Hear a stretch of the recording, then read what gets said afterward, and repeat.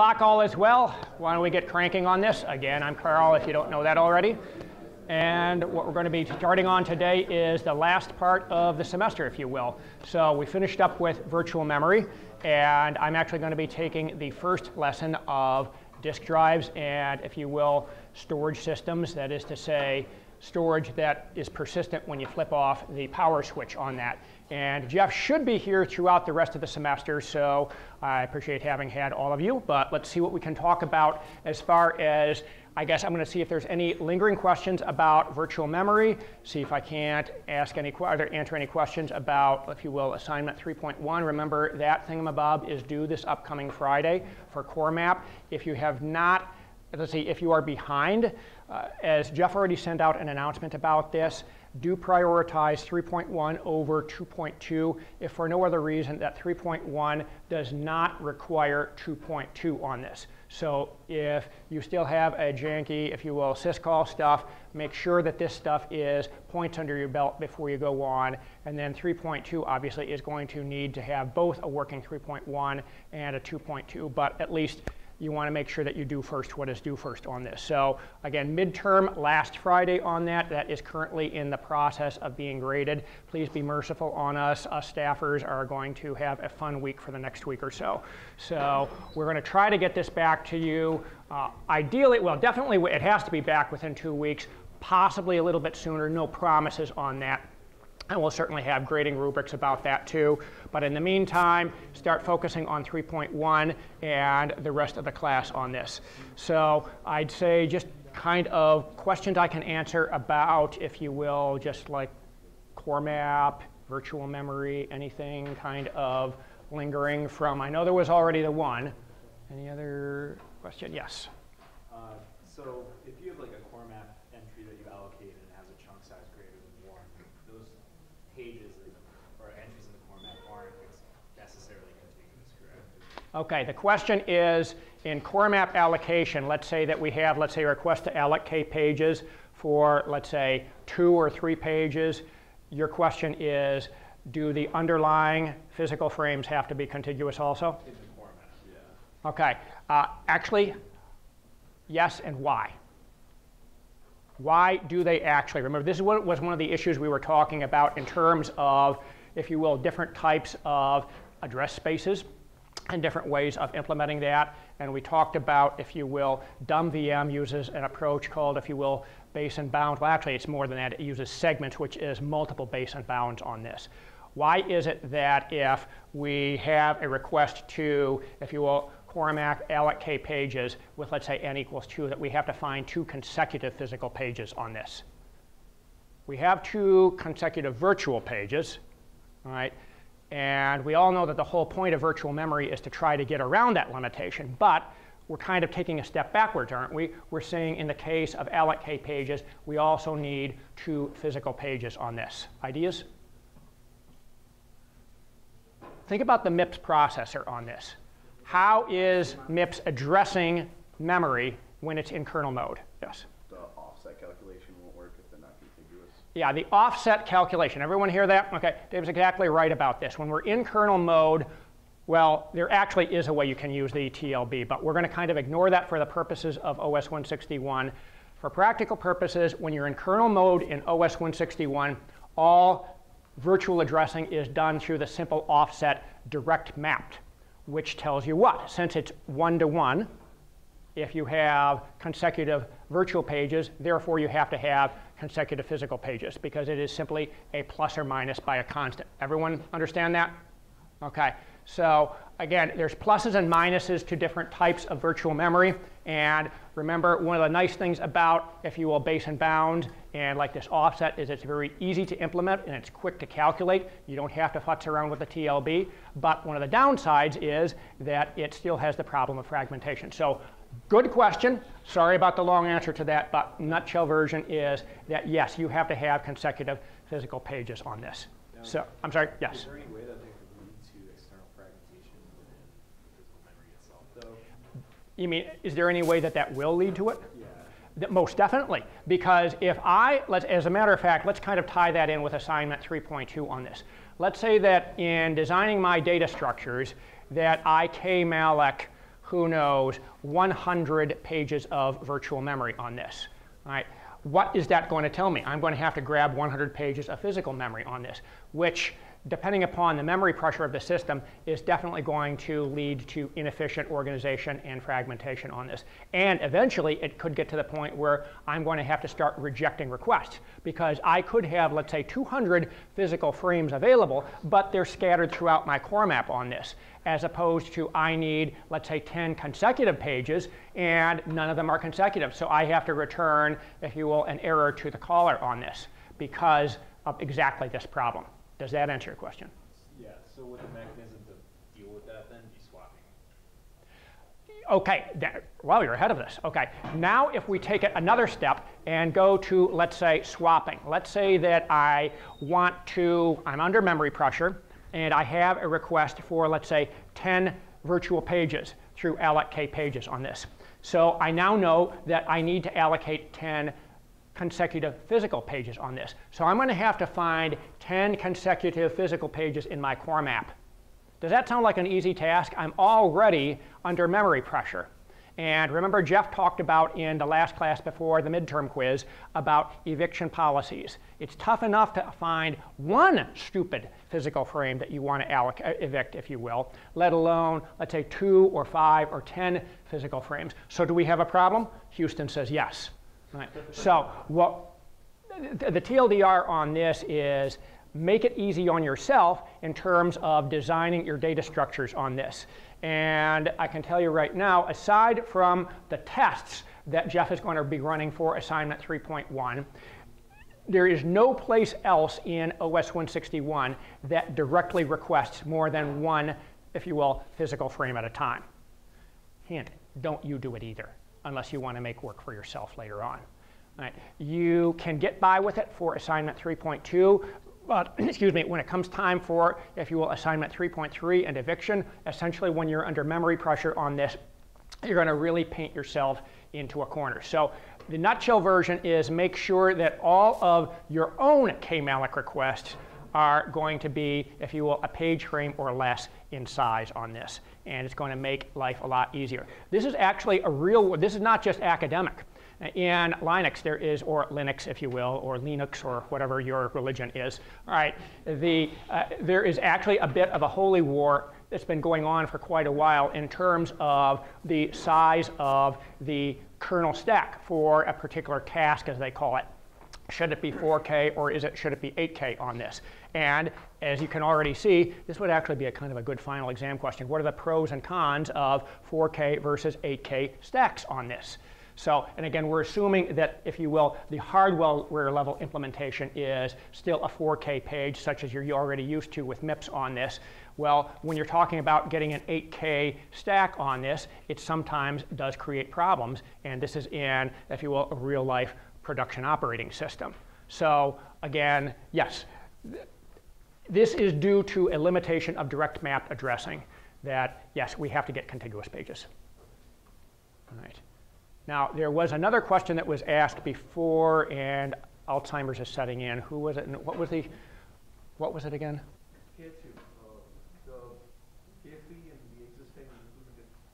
Oh, okay. Yes. Okay quick version on this is, hey, wait a minute, I thought the whole purpose of assignment three is that that's what, if you will, finally starts freeing memory on this. But can K free, let's say, if you will, free memory even during assignment two? Yes, it can. If you will, there's if you will, two levels to getting memory in essentially not just OS 161, but any system, if you will. In other words, if I want to get, let's say, eight bytes, I call, let's say I'm in a kernel, I call kmalloc, give me eight bytes. And kmalloc checks its own internal storage of, if you will, memory that it's using. And if it has eight bytes to spare, it, it simply returns that memory to the user. And when you call kfree on it, it will actually be reclaimed by the malloc-free routines on this when it needs, it runs out of its own internal storage, it then and only then goes to the frame allocators. That's the alloc K pages and free K pages that you people are writing as part of assignment three on this. That's the part that leaks with dumb VM. So, in other words, in dumb VM, we have an initial request for one 4K page. We always have to start somewhere on this. But once we have that, let's say the calling user says, give me 10 bytes on this, and then later frees it, that will actually be reclaimed by the system on that. Where it will not be reclaimed is, let's say I get to the point where the malloc and free routines decide that I no longer need an entire 4K page. At that point, you call down to, remember, free K pages in dumb-VM, and remember that cute little comment, it says do nothing. That's where the memory leak occurs. So as long as you're not returning 4K pages, yes, you actually do return memory even with assignment 2 on this. So to a certain extent, yes, you're even reclaiming memory, but obviously eventually you will kind of bomb the system because if you, let's say, run a bunch of processes each time you fork off a process, it's going to require certainly much more memory than you can accommodate with just a few bytes. Other questions I can answer about memory, assignment three? Uh, in case of swapping out something, uh, does that mean that I, if I want to swap out say there we have uh, allocated 10 contiguous blocks. Mm -hmm. If I have to choose, I cannot, uh, there never be a possibility that uh, half of it is uh, swapped out. It has to be from the beginning till end. Not sure what you're asking. In other words, if I need a, let's, I need to service a request, is this from user space or kernel space? From user space. I, I, I need to allocate more space now. So, but mm -hmm. there is mm-hmm. no space available Correct. in physical memory. Mm -hmm. So, uh, say the uh, uh, the policy which I use to uh, swap out something chooses a, chooses chooses a page. Mm -hmm. it, can it ever choose a page in the middle of say there are 10 contiguous blocks can it ever choose a page say in the fifth block no right I think what you're talking about is when we're in user mode and we have a request for, let, us say the user, if you will, wants to, let's say, malloc 10 pages, if you will. What's going to happen is, remember, you're going to have to implement on-demand paging is what it will work out to. But you're going to see a series of page faults on 10 consecutive pages on this. But since this is actually something that can go through the TLB and we can redirect the addresses, the underlying physical pages do not need to be consecutive on this. So that's why it's going to be much easier for us to surface, if you will, a request from user mode that says, give me 10 pages on this. Even if I did, it's possible to allocate it, if you will, all at once. But I could say, let's redirect this page to this physical frame, this page to that physical frame, and set up the TLB to make it appear as if it is, if you will, continuous in memory. Ready? And that is actually one of the key points of assignment 3.2. Yes? So I want to understand when you mem, when you mem copy, so when you're copying memory from the parent's address space to the child's address space, mm -hmm. how, how, how is the address being passed of the parent's physical address and the child's physical address? Because ah, good question. This is something that you're all going to have to tussle with in assignment 3.2 and much more in assignment 3.3. In general, you only have to worry about handling one address space at a time. But there are some corner cases, one of which is, if you will, AS copy on this. How do I, fork obviously is going to be calling AS copy. I need to move the contents of memory from what's in one user's address space to another user's address space on this. So how can I actually do it? Well, quick version is take a look at how dumb-VM does it. And that will actually, it's, it's a kludge that works kind of for assignment 3.2, but it will definitely cause you problems when it comes time for assignment 3.3. dumb-VM, I saw it, it uses a macro called PIDA to KVIDA, right? All that does is that switches the address from physical to virtual on this, but it calls directly down to, I think it's either memmove or memcopy or something like that.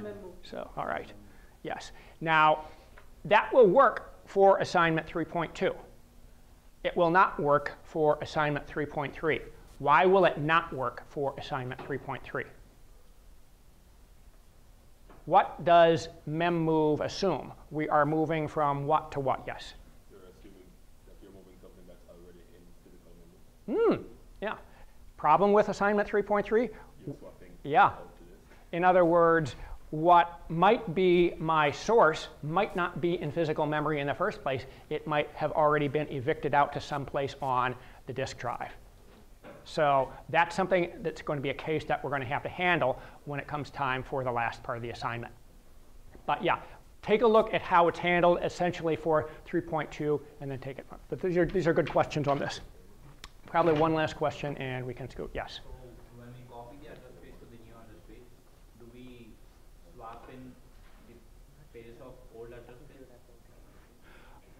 Well, if you're talking, we're, when we say we're copying an address space, remember what's really going on is we're copying the values of the underlying data as they appear in the same virtual addresses. What we're really doing is we're grabbing different areas of physical memory.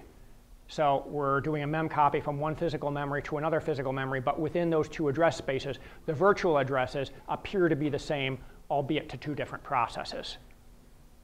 Answer your question? But uh, let's say one of the page of the old address space is in disk. Right.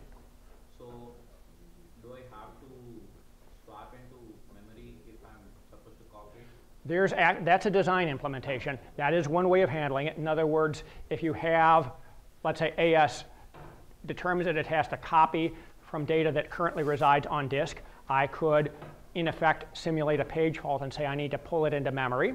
I could also, let's say maybe some sort, set up some sort of a kludgy buffer. Another way of doing it in like production systems is, you know what, I'm just going to leave that bugger on disk and I'm going to take the page of the target process and also point it to the same thing on disk. So I don't have to do anything. Again, procrastination pays on this. So that's, that's very much a design implementation. Hmm. All righty? All righty. These are really good questions. It goes to show I think you people are thinking a lot. I would say when it comes time for assignment 3.2, even more so, have the staff review your design documents before you start coding too much on this. I don't want you to go down to a wrong rabbit hole and you have to back off on this. So sit down with your partners, come up with a rough idea, and as soon as you can, grab one of the staffers or maybe two of the staffers and say, take a look at this and let me know what's good, what's bad, etc. on this. All right, on to hard drives. Okay.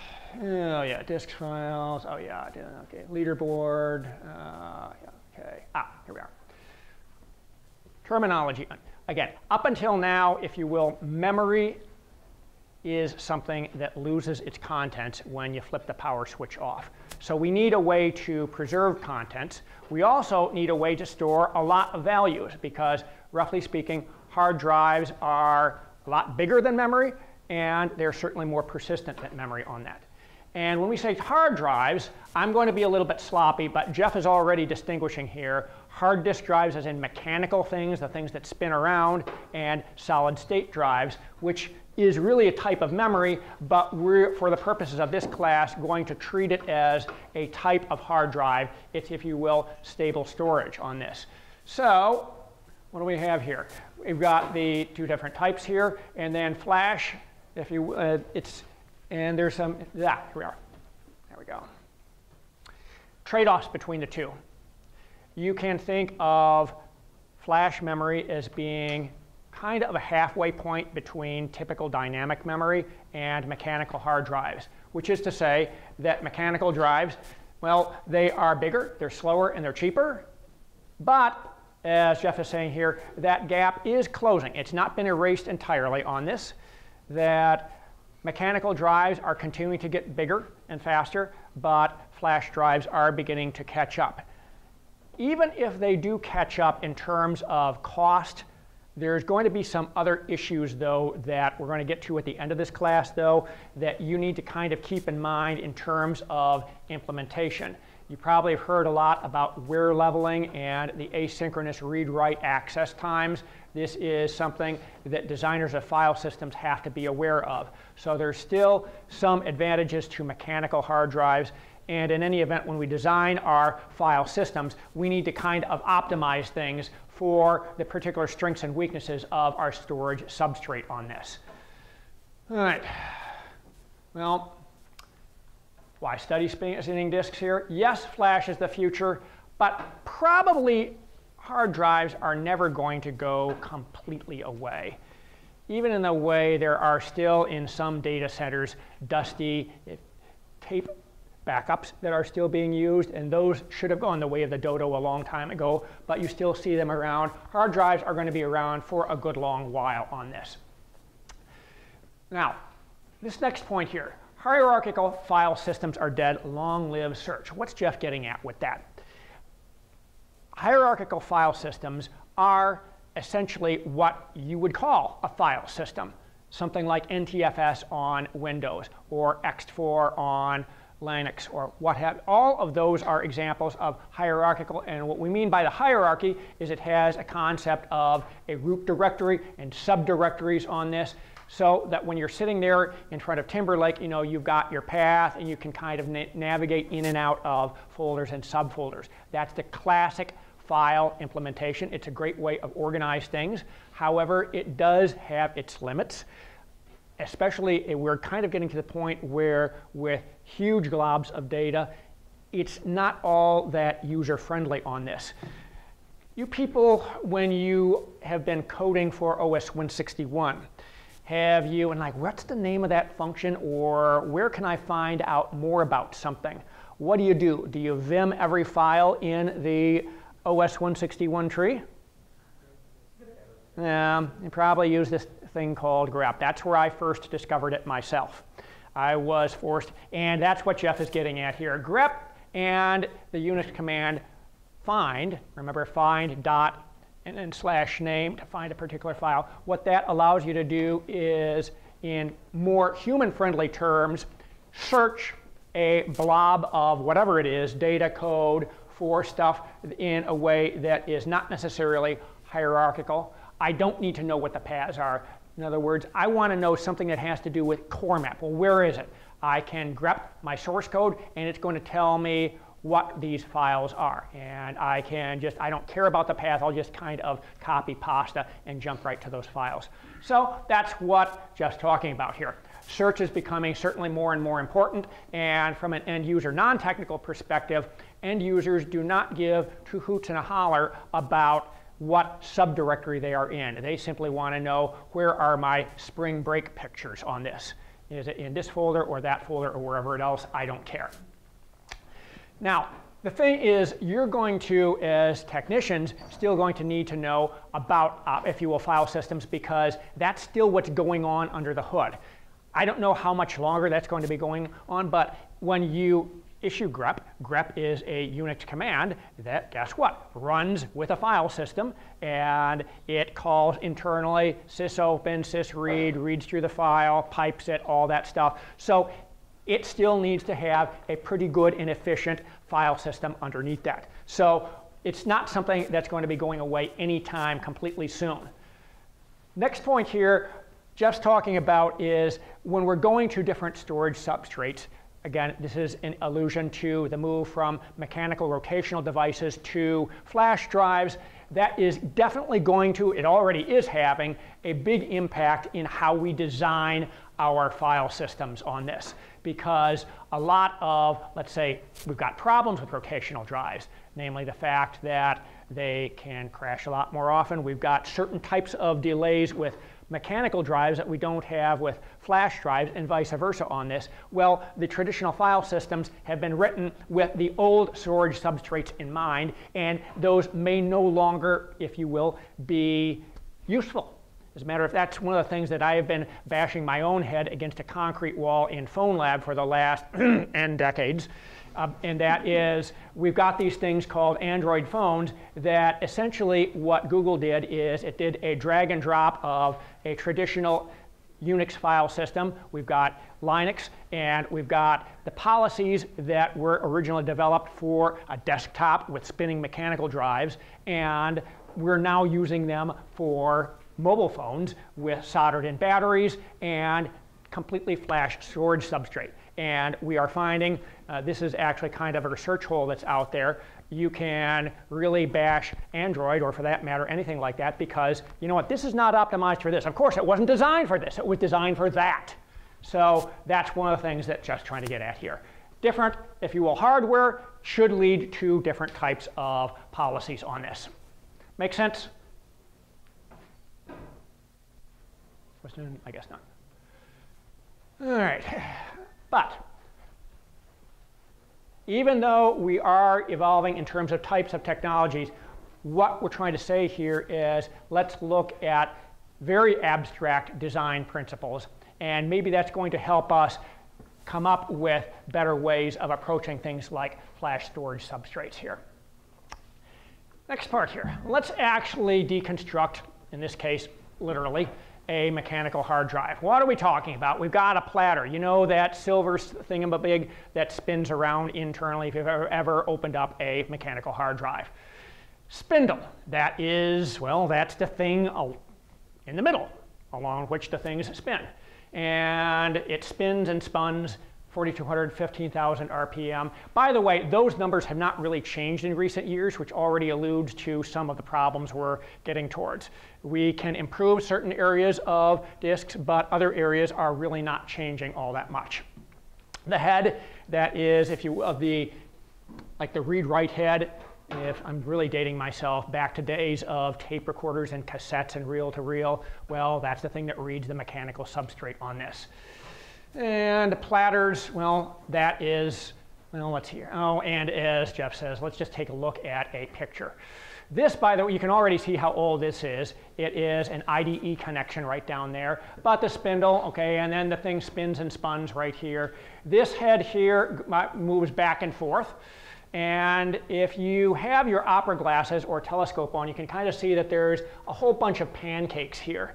And the heads, there's probably a bunch of them, go right in the middle of those platters. So you can already see that's kind of intricate. Yeah, it is, which is why you get all these warnings about thou shalt not drop and be gentle when, if you will, putting your laptop down. Oh, by the way, if you want to have some fun, these rare earth magnets are wicked strong. Right? So when you open them up, you can actually draw blood when you're on your own fingers. Uh, one of the reasons why they did that is, oh, I speak from experience. Right? All right, terminology on this. And this is something that you do want to commit this to memory. It's not a whole lot, but these are definitely going to show up on the final exams. Tracks, those are the things that spin around. Well, track, sector, cylinder. Oh, the cylinder, if that is, well, back in the Cretaceous era when I was dealing with floppy disk drives, there was only one platter. And so what we used to talk about was a track and a sector and it, well, we essentially did not have things pancaked on that. So uh, it was simply one track. But now what's happening is we've got a bunch of pancakes with multiple tracks. So three-dimensionally, it kind of looks like a cylinder. Make sense? So you may have heard like cylinder and track are interchangeable. It's just that the cylinder is the 3D version of what a tractor is, track is. One last thing, if you are taking notes on this, you probably have heard the term block. That is a virtualization of this. In other words, these terms here, track, sector, and cylinder, refers to what's actually on the physical disks, as opposed to we are going to virtualize it in terms of how it appears to the software by simply, instead of twiddling around with these tracks and sectors and cylinders, by the way, you used to actually have to do that. Uh, poor me, I used to have to when I was programming my Apple II tell the disk drive specifically which track and which sector and move the stupid disk arm myself by calling. There, there were actually software switches to turn on the step motor for this phase, yada, yada, yada. That's all taken care of in firmware. Thank your friends, the computer engineers, for doing that all for you because it's essentially something you don't want to have to deal with. The hard disk drive manufacturers know this stuff a lot better than, let's say, someone who is a software systems designer. So all of this at a certain level gets abstracted out. And rather than specifying a specific track, a specific sector, and a specific cylinder or what have you, we just say, give me block 1 million or 1 billion or 1 trillion. I do mean 1 trillion because, let's face it, these things get bigger and bigger and bigger. Here we go, disk drive location diagram. This is one pancake, and you can well see here track cylinder. There's some differences. For example, this particular diagram implies that we are using, what is it, constant, well actually I shouldn't say that.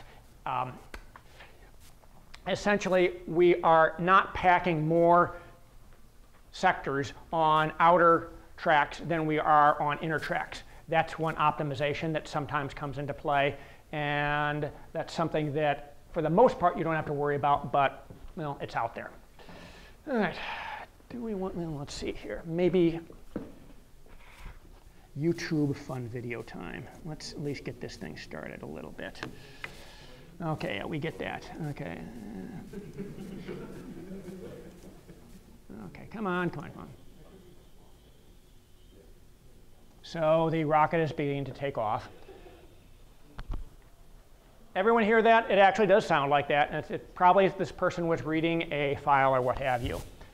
What's happening right now, let me stop that right there, is it is probably getting some sort of metadata and then going to the data, or maybe it's doing some mini copy. If you see it going back and forth, back and forth, back and forth, there's probably a reason, assuming there's not a bug at work.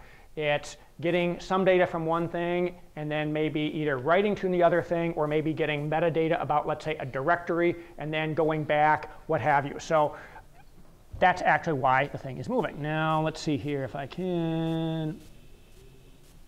Let's move it. Okay, copy pasta. There we go. Another example.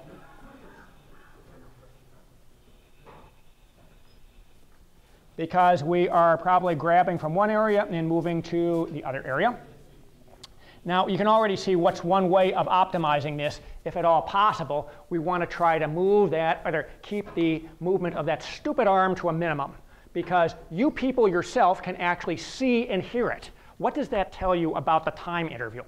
if you can see and hear the movement exactly on this. So if possible, we might want to, and Jeff is going to be getting onto this later on, how can we design this to maybe keep the stupid arm movement to a minimum? Maybe kind of keep the target area around the source area. That's not always possible, but it's something we want to keep in mind here. Uh, oh, quick, I don't know what that means. It doesn't make, okay, so it moved once, whoop-de-doo. All right. Come on. There we go. That was video number one. Spinning disks are different.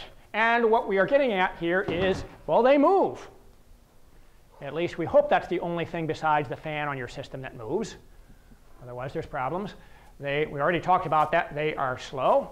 And by the way, when I say slow, make a mental note of this. They are there are different degrees of slowness depending upon the type of movement, and that also is going to impact some of our file system design here. Integration.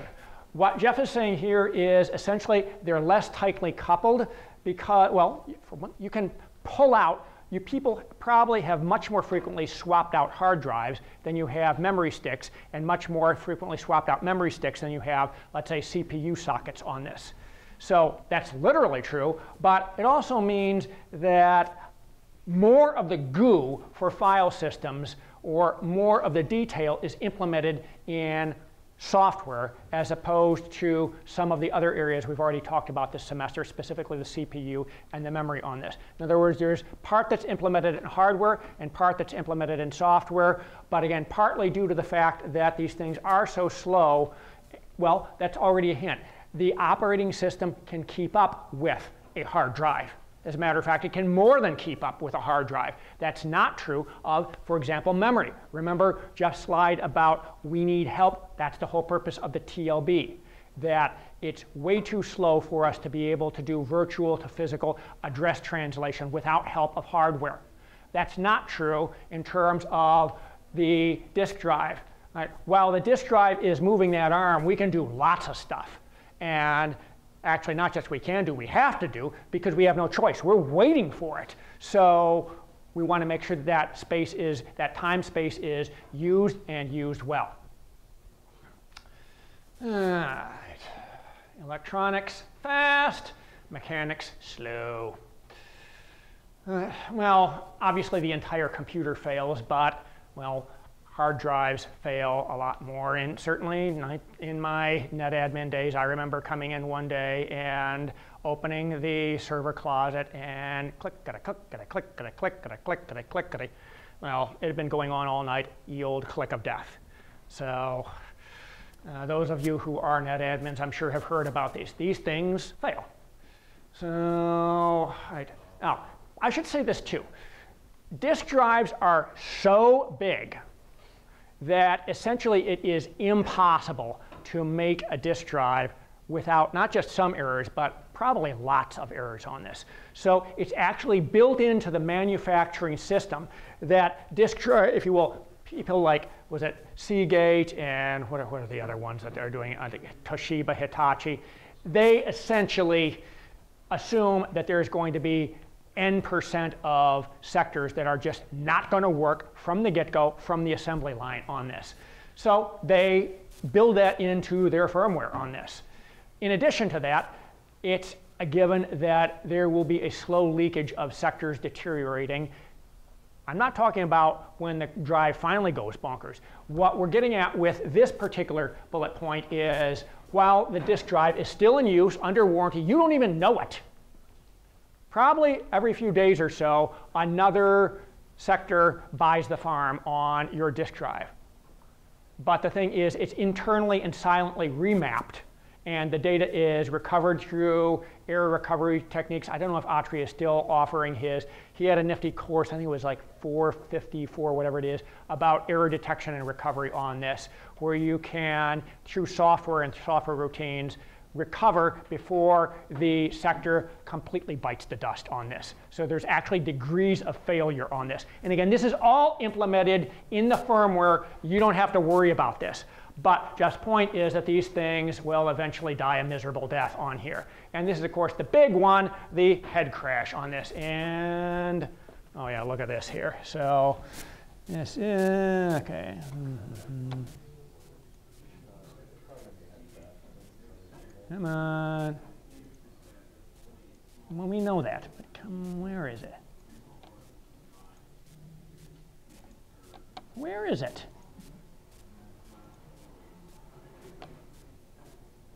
Oh, I'm not, okay, I'm not thinking. There it is. I, it's, it's, this is not supposed to be there. It looks like it's a pretty design. No. That is where the goo was already, and by the way, when I say goo, I mean your precious pictures and videos and other unmentionables were physically scraped off the disk. And as the narrator says, you know where that actually winds up? There it is. This thingamabob right here is well, it's, it's essentially a fancy schmancy air filter that equalizes air pressure on the inside so that literally your hard disk drive does not explode when you ride an airplane. But on the other hand, it keeps out dirt and other stuff. And all the goo, your precious files from here, are now over there. they were vaporized, literally vaporized and good luck getting that back. Coda to this, the narrator says at the end, always back up. And if you're a net admin like me, I'm the biggest hypocrite in that. So I know Jeff has a saying that there are essentially uh, two types, if you will. I guess it would be 1-0 and binary. And it's like people whose hard drives have not crashed yet and people whose hard drives have already crashed. So it is what it is. So, oh, and by the way, this also influences file system design on this. What can we do? We know that the user is going to be stupid and not back stuff up. Maybe there's some things that we can do in terms of file systems to kind of maybe minimize stuff. And let's say if, let's say the user unplugs the computer or something like that halfway in the middle of writing a file, how can we make sure that even if that file is toast, we don't deep toast the entire disk. Oh, come on. Why is my clicker not working? Oh, I have to click here. OK. All right, come on. There we go. Handling failures. OK. RAID will be covered in another lecture. But essentially, since these disks are so prone to failure, uh, we've basically come up with an idea is let's take a whole bunch of these disk drives and put them together for redundancy and possibly speed and some other stuff on this. So this is actually something that has inspired a lot of design principles on this. And I should say a lot of the stuff when I was talking about disk drives being so big and error correcting, that's also increasingly true of memory. It's not as far along, but we're starting to see that. In other words, if you have terabytes of memory, you can almost guarantee that there will be bit flips that are starting to happen on this. Uh, for those of you who are math nerds, you probably know that every few years there's, well, I shouldn't say that, but there's competitions within the mathematics community to compute the value of pi. So they literally have, let's say, hundreds of gigabytes, terabytes worth of storage on this. Uh, they're doing these calculations. They assume that there is going to be errors. Computers, yes, will commit errors. Not that they're trying to, but there will be a bit flip in the memory, and they have to be able to handle that, detect it, and recover it on this. So again, Jeff's point here is that disk drives, because of their size and their nature, we're going to have to deal with a lot of indeterminacy in ways that we didn't before. That's also starting to seep into computer system design in other areas too. we already talked about this. They're slow. As a result, we're going to, hey, look at this. Use the past to predict the future. Uh, we already have talked about that with respect to the eviction algorithm, but with respect to the underlying file system itself how can we actually optimize things? In other words, if we know that we're reading part of a file and let's say the user has accessed file B after file A in the past, maybe we should kind of pre-read file B when the user reads file A. There's stuff like that that's going on. Increasingly, it's even starting to use AI. Use a cache, in other words, Memory is faster than disk drive. So again, let's kind of read ahead. Procrastination. So again, these are all techniques and themes of OS 161. Uh, again, a great final exam question would be, take something like one of these three things, like procrastination or cache or whatnot, and explain how it applies to different systems. In other words, give me an example of how it applies vis-a-vis -vis the file system, and maybe how it applies vis-a-vis -vis the memory system on this. So what we would be looking at is, can you take these general themes and apply it to different areas of the system overall? That's a real good question. It's been asked before. All right more on slowness here. All right, and again, the, the thing to keep in mind with slowness is there are degrees of slowness here. And what do we have here? We have to issue the stupid command here. Read or write, seek time. That's, we have to move that lovely arm to the track that we want to go to. Then, well, okay, it's on the track. Well, not quite. Remember Newton's law here. So we're moving, well, it's probably going to overshoot and then gradually settle in. So that's our settle time and then rotation. Just because we've moved the arm, well, remember we've got that thing, that spinning thing, spinning and spinning? Well, who knows what sector the head is currently over. We have to wait for the thing on average to spin halfway around. And while we're doing that, we're twiddling our silicon thumbs on this. So this is essentially why we have to consider I.O. a blocking operation on this. And transfer time. This is the fastest of them, but it is still a lot slower than we're talking about in terms of CPU on this. So questions about these types of times here. This might be a good short answer question. Describe the different types of slowness, if you will, to hard disk drives and compare and contrast them. All right, now, obviously it's slow. The hardware engineers are working at improving this. And they are getting improvements in all areas, but at different rates. So interconnect speeds, yes, you can see that's already a little dated on this. But yes, interconnect speeds do go up. Seek times, that is actually not improving rapidly. That's one of the worst areas where they are improving really in linear order. So in other words, if the seek time was 1 10 years ago, it might be 1.8 or 2.3 today. So not a whole lot of improvement on seek time on this. Dave, I know you might want to jump in on that. I don't think it's, uh, yeah. Uh, yeah, what's this? Oh. Yeah. Rotation speed, that I know has essentially stagnated on this. Well, you do have, well, in other words, you've got like, what is it, 7,200, 10,000, and 15,000. You've had more, excuse me, have to switch to a filtered brand. Uh, you have to, let's say, the rotational speed, you can go from, let's say, 7,200 to 10,000, but eventually it's not going, they're not going to change from, let's say, 10,000 to 11,000 or what have you. All right, I.O. crisis here, okay?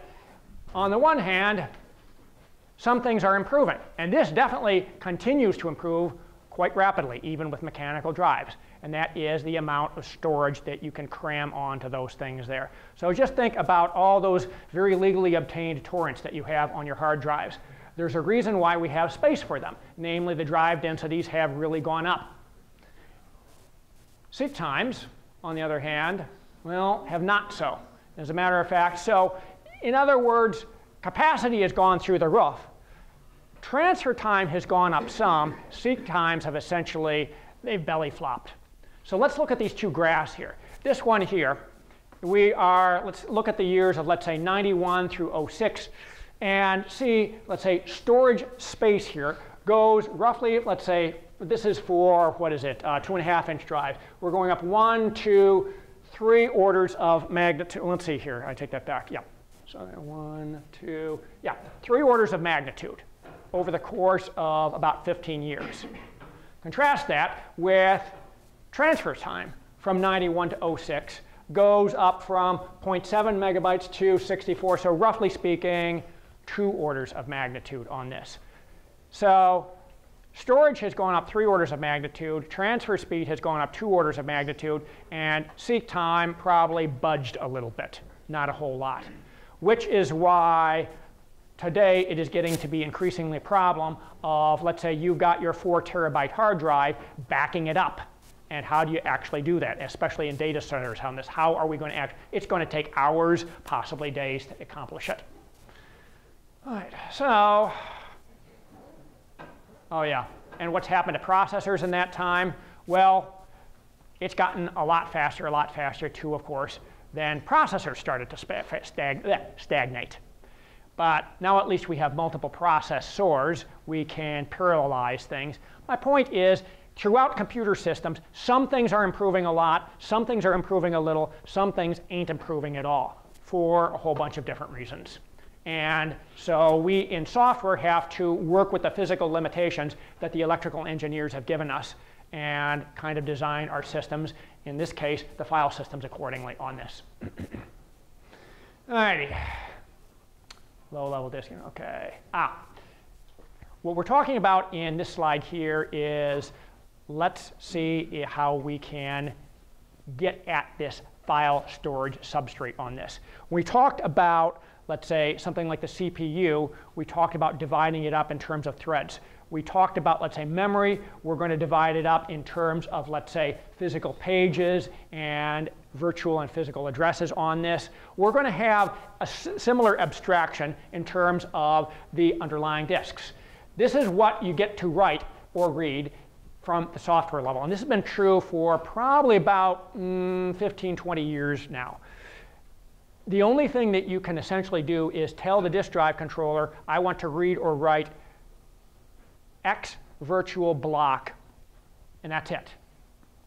You don't get to peek at the underlying disk geometry. Hopefully, the hard drive manufacturer, this might be true in server systems, might give you some hints about, let's say, these batches of blocks typically match to consecutive areas, but there's no guarantee because we might have to do some automatic remapping or what have you on this.